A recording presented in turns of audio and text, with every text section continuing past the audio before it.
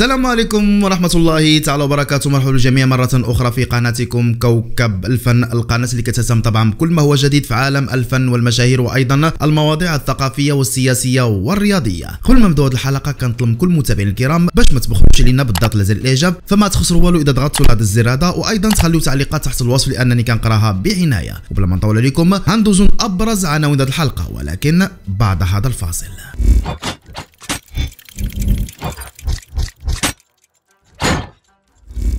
رغم ضغوطات البوليزاريو وتوجهات حزبها مارافير يؤكد على دعمه لمغربية الصحراء. حاشاكم يتهم المغرب بمحاولة زعزعة استقرار الجزائر بالهجرة والمخدرات والسلاح والعملة المزورة. سفينة نوح خطة هروب سرية جاهزة لفلاديمير بوتين. المغرب يضع أسطول طائرات الكناضير في حالة تأهب بعد الارتفاع الصاروخي لدرجات الحرارة. استئنافية بني ملال تؤيد حبس طبيبين متورطين في منح شهادة طبية وهمية للوزير السابق محمد مبدع. اعتقال نصاب انتحل صفة مسؤول كبير بالقصر الملكي. تفاصيل مثيرة في هذه الحلقة. اعتقال طبيب متقاعد يمارس الإجهاض غير المشروع داخل شقة بأكادير وفاة كاتب مغربي بالولايات المتحدة ومهاجرون يطلقون حملة لنقل جثمانه إلى مسقط رأسه بالراشدية بعد كارثة الغواصة المفقودة الأم والزوجة المكلومة تفجر مفاجأة جديدة. مسنة تبكي بحرقة بعد رؤية شاب يشبه ابنها المتوفى في مكة المكرمة. محمد الترك يفجر مفاجأة كبيرة. البطمة رفضوا زواجنا. هذا سبب انسحاب الفنانة المغربية لطيفة رأفت من برنامج ستارلايت ابتسام شكارة زوجة رشيد الوالي تتجه إلى كوريا الجنوبية لمتابعة دراستها الجامعية.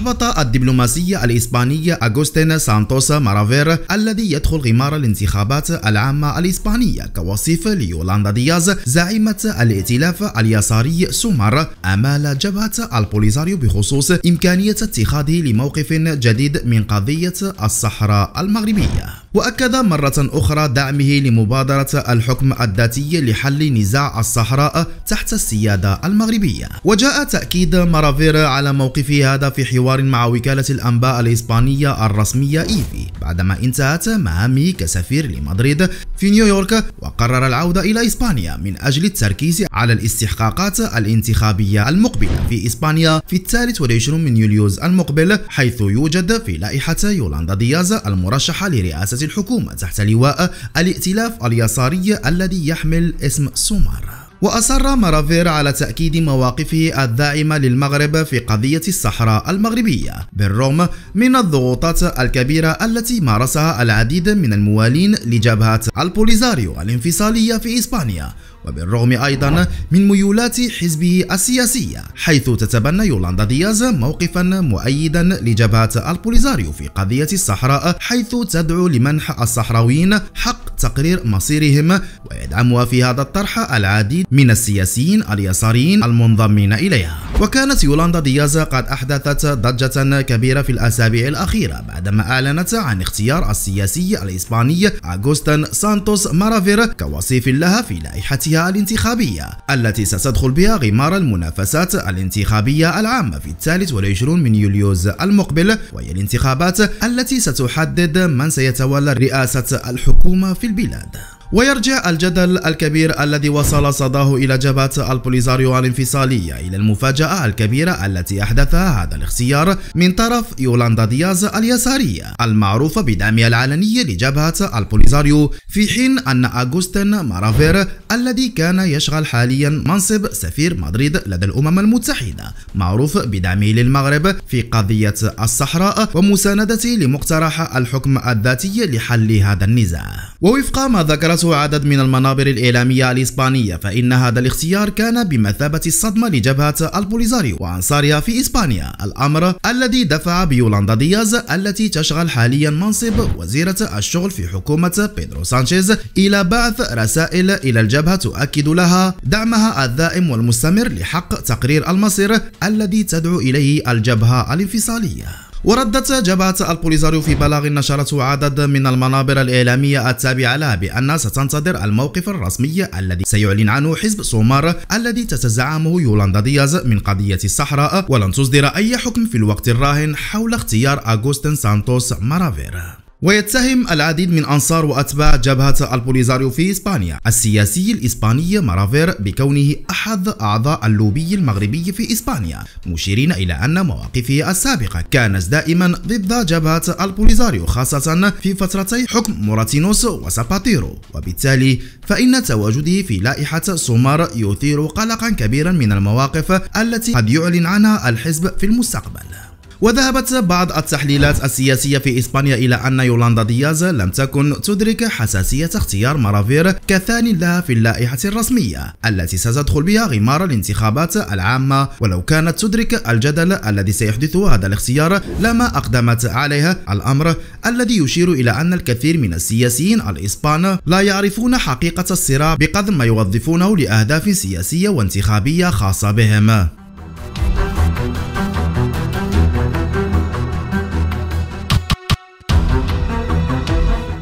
جدد الرئيس الجزائري عبد المجيد حاشاكم اتهاماته إلى المملكة المغربية مساء يوم الأحد عقب المناورات العسكرية التي أجراها الجيش الجزائري في ولاية الجلفة حيث قال بأن الجزائر تواجه محاولات لزرع الاضطراب داخلها وقد لمح إلى وقوف المغرب وراء ذلك. وحسب تعبير حاشاكم فإن الجيش الجزائري عليه أن يحرص على مواكبة التطورات الأمنية والعمل على تأمين الحدود عن طريق التصدي للهجرة غير الشرعية وتهريب المخدرات وتهريب الأسلحة والذخيرة إضافة إلى تهريب العملة المزورة القادمة من نفس البلد في إشارة منه إلى المملكة المغربية. وقال حاشاكم وحشى الناس في خطابه الذي كان أمام رئيس هيئة أركان الدفاع سعيد شنقريحة والعديد من قادة الجيش الجزائري بأن بلاده لم تكن مصدرا لأي تهديد أو اعتداء منذ الحصول على الاستقلال لكنه أكد على ضرورة امتلاك عناصر القوة من أجل حماية الحدود الوطنية.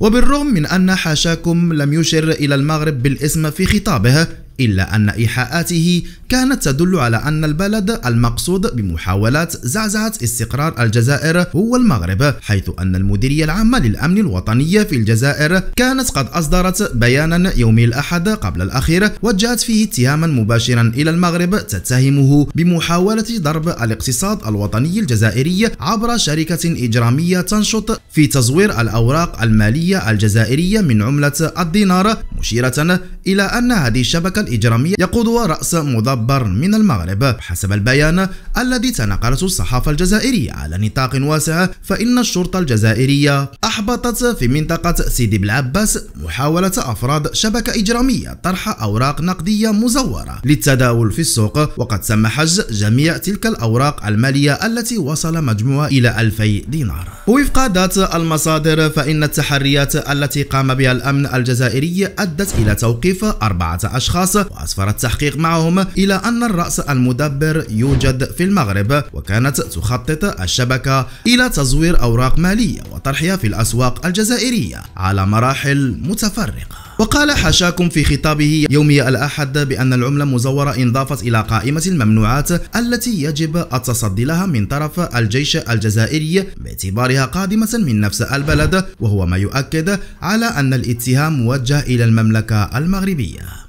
هذا ويرى الكثير من المتتبعين للشؤون الجزائرية أنه منذ تولي حاشاكم رسالة البلاد خلفا للراحل عبد العزيز بوتفليقة ارتفعت نبرة العداء تجاه المغرب وأصبح الخطاب السياسي للنظام الجزائري مرتبط بشكل مباشر بالجهر بالعداء نحو الرباط وتحميلها مسؤولية كافة المشاكل التي تقع في الداخل.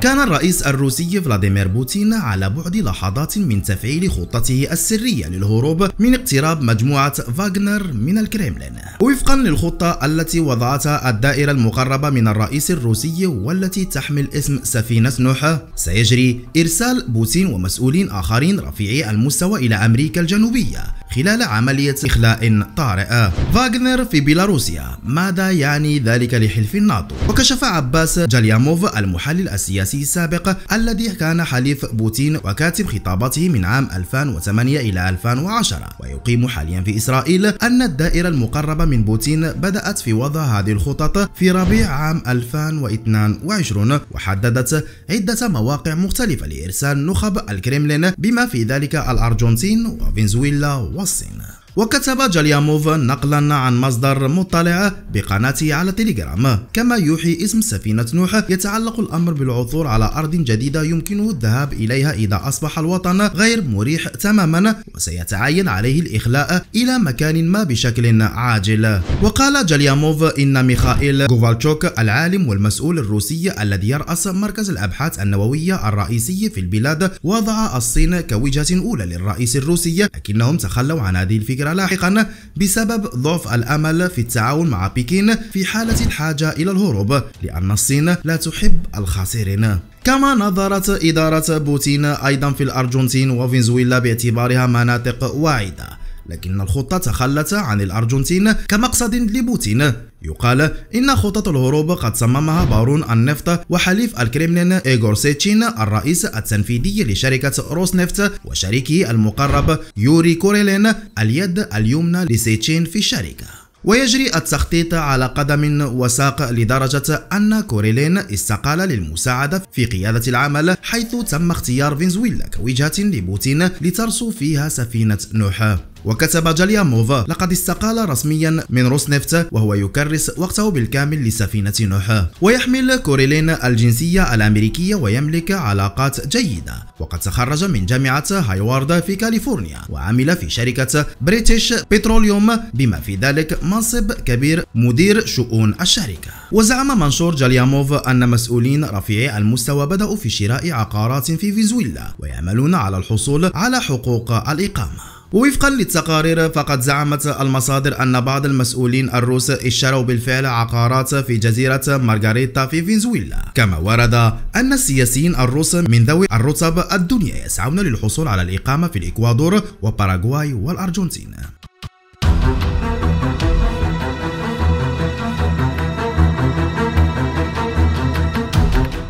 شهدت طائرات القناطير المتخصصة في إخماد الحرائق وهي تحلق لعدة مرات فوق سماء مدينة القنيطرة حيث تتخذ من المطار العسكري للقاعدة الجوية بالمدينة محطة دائمة. ويضع المغرب أسطول طائرته من طراز القناطير في حالة تأهب قصوى عقب الارتفاع الكبير لدرجات الحرارة. وبعدما شهد السنة الماضية موجة من حرائق الغابات أتت على آلاف الهكتارات من الغابات كما تسببت في خسائر مادية كبيرة وهددت حياة المواطنين بمدن شمال المملكة على الخصوص. ويتوفر المغرب على أسطول طائرات متوسط لكنه الأكبر في جنوب المتوسط حيث حصل قبل أشهر على دفعة جديدة من هذه الطائرات التي تفتقد إليها دول مصدرة للبترول والغاز.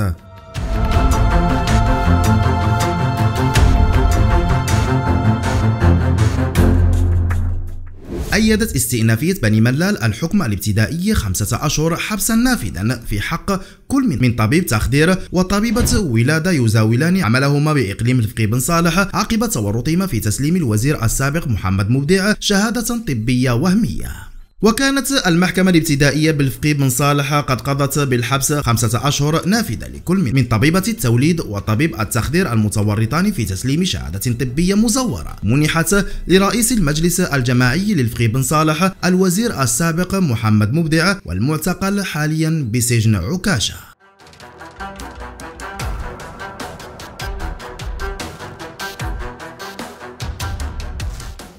تمكنت مصالح الأمن الوطني من توقيف شخص يشبه تورطه في قضية تتعلق بانتحال صفة الناطق الرسمي باسم القصر الملكي ومؤرخ المملكة وذلك بعد قيامه بالاتصال بمجموعة من رؤساء الجماعات الترابية في جهة فاس ومكناس. وحسب المعطيات المتوفرة فإن المشبه به كان يقوم بإجراء مكالمات هاتفية مع السلطات المحلية المستهدفة حيث كان يدعي بأنه ينوي ترتيب لقاءات تتعلق بزيارته لتلك المناطق وكان يعد بمبالغ مالية تتراوح بين 40 و 70 ألف درهم. أفادت المعطيات أن المشتبه به قام بالاتصال بعدد من رؤساء جماعات أخرى مثل سيدي الحسن إغزران غبالو وعزابة وطلب منهم المساهمة المالية لإجراء عملية جراحية لسيدة مريضة. وقد حدد موعدا للقاء معهم عبر مبعوث شخصي يتمتع برتبة ضابط. وأضافت ذات المعطيات أنه عندما شك أحد رؤساء الجماعات الترابية في صحة هوية الشخص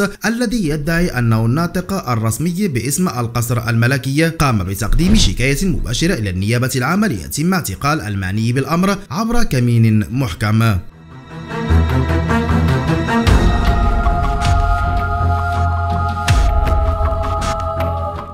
تمكنت عناصر المصلحة الولائية للشرطة القضائية بمدينة أكادير زوال مساء يوم الاثنين من توقيف طبيب متقاعد يبلغ من العمر 65 عاما وذلك للإشتباه في تورطه في ممارسة الإجهاض بشكل غير مشروع. وكشف مصدر أمني أنه جرت توقيف المشتبه فيه وهو من ذوي السوابق القضائية في ممارسة الإجهاض بشكل سري خلال عملية أمنية جرى تنفيذها بداخل شقة بمدينة أكادير حيث تم ضبطه في حالة تلبس بإجراء عملية لإيجاد حمل سيدة تبلغ من العمر 22 عاما وبحضور سيدة ثانية من معارفها وذلك في ظروف تنعدم فيه شروط السلامة الصحية. كما أسفرت الأبحاث يضيف ذات المصدر عن توقيف كاتبة بعيادة طبية أخرى يشتبه تورطها في المشاركة في هذا النشاط الإجرامي. وقد تم إخضاع المشتبه فيه الرئيسي والكاتبة والسيدتين لتدبير الحراسة النظرية رهن إشارة البحث الذي يجري تحت إشراف النيابة العامة المختصة وذلك للكشف عن جميع ظروف وملابسات وخلفيات هذه القضية وكذا تحديد كافة الأفعال الإجرامية المنسوبة للمعنيين بالأمر.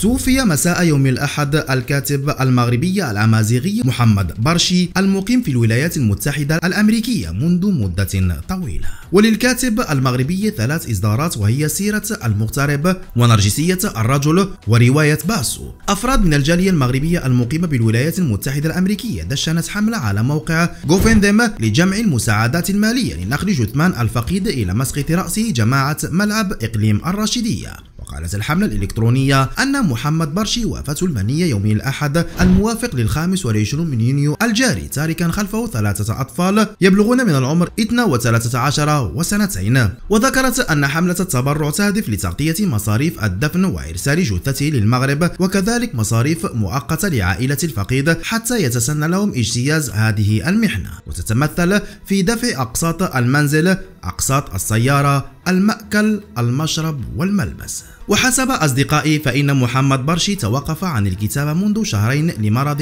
ألم به وكان آخر منشور له في نفس الفترة أرفقه بمقولة إتما القرطاس إتما ووال بمعنى نفدت الذخيرة فلا مجال بعد ذلك للكلام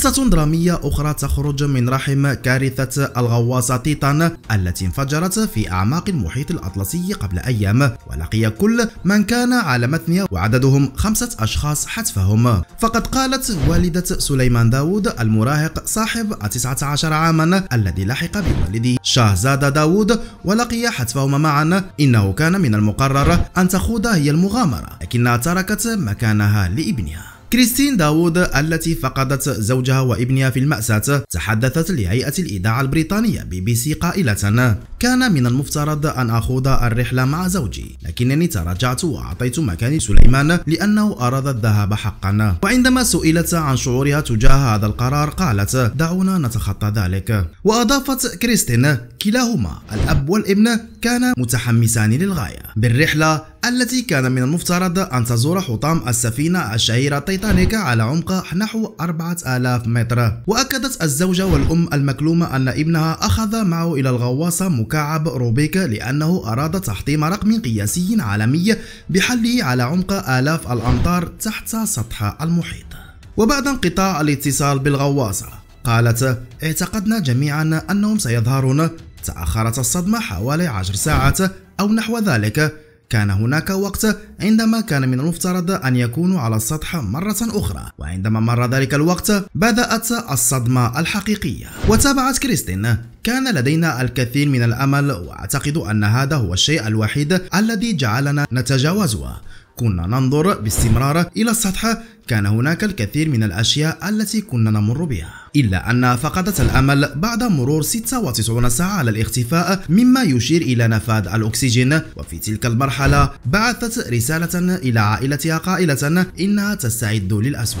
وأشارت كريستين إلى أن ابنتها ظلت متفائلة حتى أبلغ خفر السواحل الأمريكية الأسرة بالعثور على حطام الغواصة.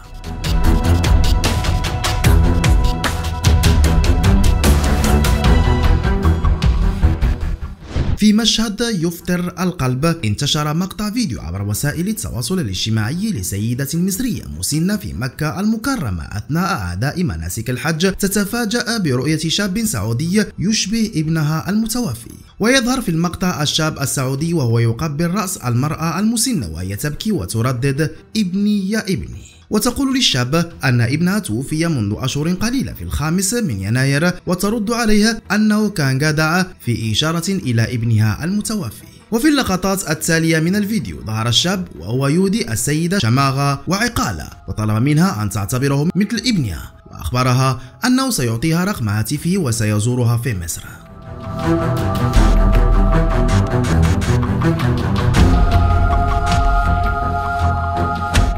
كشف المنتج البحريني محمد الترك أن أهل طليقته دنيا بطمة رفضوا ارتباطهما إلا أنهما نجح في إقناعهما للموافقة على زواجهما.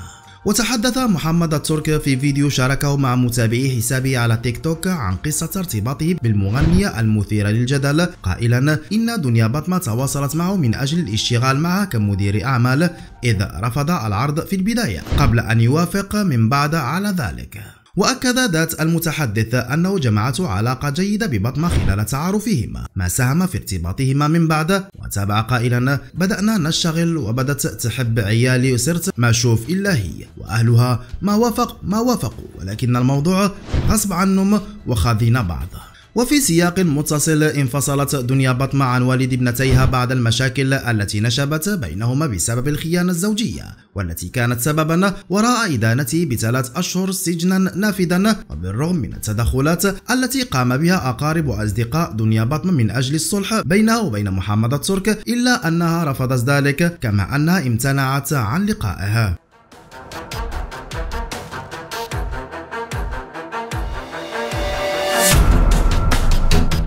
انسحبت الديفا المغربية لطيفة رأفت من لجنة تحكيم برنامج اكتشاف المواهب ستارلايت في موسمه الثاني والذي سيعرض خلال الفترة المقبلة على القناة الثانية. مصادر إعلامية كشفت أن سبب انسحاب لطيفة رأفت جاء بعدما عجزت القناة الثانية عن تلبية طلباتها ورفضت الموافقة على الشروط التي وضعتها من أجل الاستمرار في لجنة تحكيم البرنامج.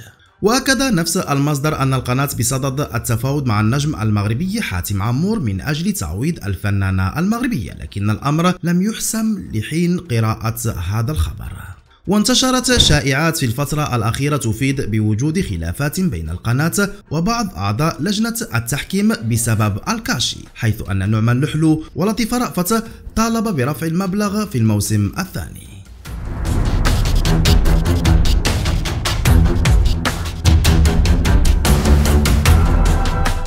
اختارت ابتسام شكارة مديرة أعمال وزوجة الممثل والمخرج رشيد الوالي أن تشد الرحال إلى كوريا الجنوبية لمتابعة دراستها الجامعية. وتقاسم رشيد الوالي النبأ مع جمهوره ومتابعي حسابه الرسمي على منصة الانستغرام من خلال نشر مقطع فيديو يجمعه بزوجته وهما في طريقهما نحو مطار محمد الخامس من أجل السفر إلى كوريا. وأعلنت شكارة في المنشور أنها تسجلت في برنامج صيفي في إحدى الجامعات في سيول. لتتلقى دروسا في العلاقات الدولية والدبلوماسية بعد حصولها على الإجازة في مسلك القانون بالفرنسية. يغتنم الفنان المغربي الفرصة ويعبر عن افتخاره بها ودعم الله مشروط له. إلى هنا نأتي لنهاية هذا الموجز. شكرا على حسن انتباهكم وإلى فيديو لاحق بإذن الله. أستودعكم الله. إلى اللقاء.